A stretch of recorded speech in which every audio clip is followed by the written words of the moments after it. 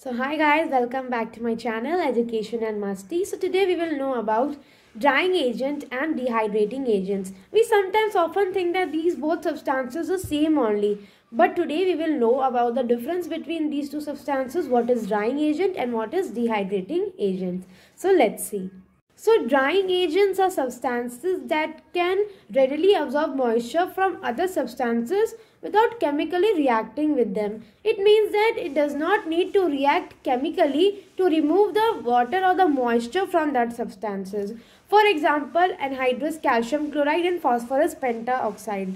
So also silica gel is one of the example of the drying agents. We know of silica gel. We keep that in new bottles. Why? To absorb moisture from the water. Whatever is present, the moisture could be absorbed. So this silica gel is not chemically uh, reacting with the water molecules or anything in which it is present. It only absorbs the moisture. That is why drying agents is something which does not chemically react with any other substances.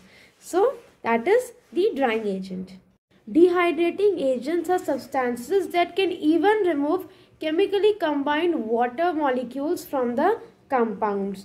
For example, here we have, uh, first of all, let's talk about concentrated sulfuric acid. We know that uh, copper sulfate pentahydrate, which is blue in color, is a uh, example of water of crystallization, a compound which has a water of crystallization with them, that is pentahydrate, okay.